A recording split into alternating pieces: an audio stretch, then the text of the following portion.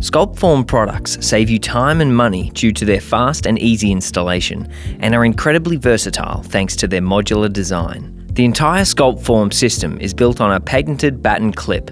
No matter which product or material you're working with, our proprietary clip system ensures a smooth install process. In this video, you're going to learn our six-step process for installing timber click-on battens. This is what you'll receive as part of your order. Acoustic backing, L-profile trim, mounting track with pre-fitted clips, battens, these can either be timber or aluminium, installation guide, batten removal tool, joiner strips, and finally, some spare standard sliding clips to allow you to make any slight adjustments. First things first, you need to check your substrate is plumb and straight. Our system can be attached to timber stud walls, masonry, or steel frames. We're cladding a timber stud wall, so we'll be using our 45 by 25mm standard track. All tracks come with the clips pre-fitted in our factory according to the design specifications. Step 2 is to install trims. Install the perimeter angle, including sides and the bottom. The angle is a measure to prevent the battens from sliding.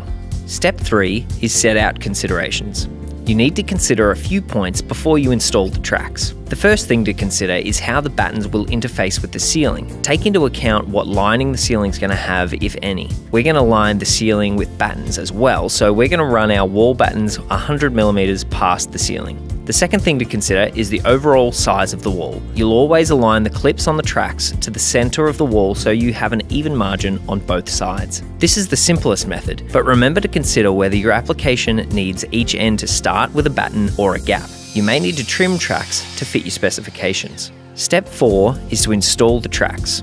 Fit the first track using a string line or laser line, then complete the same process for the rest of the tracks, ensuring the clips of each track are aligned. Before attaching each track, notch the end to fit above the edge angle. Continue attaching the remaining tracks at the required spacings for your batten material, making sure the batten cantilever does not exceed the recommended limit of 150mm. The tracks should be spaced according to the specific project engineering requirements. Typically 600mm for timber battens and 1200mm for aluminium in interior applications. Step 5 is to install the acoustic backing. Before you install it, make sure you cut each piece to length. Your acoustic backing fits in between the tracks. Pro tip, when cutting the acoustic backing, we recommend a sharp Stanley knife with a snap blade so you can achieve a straight edge every time. Make sure your cut is in line with a clip so that the edge will be hidden by one of the battens. Fit the acoustic backing by first inserting the bottom edge into the specifically designed groove in the track, then bend it slightly to fit into the grooves in the track above. If you need to use a tool to help guide the backing into place, ensure you don't mark the visible face of the backing. Step 6 is to install the battens. If you're working with anything except exact length battens, you'll need to trim each batten to fit your wall.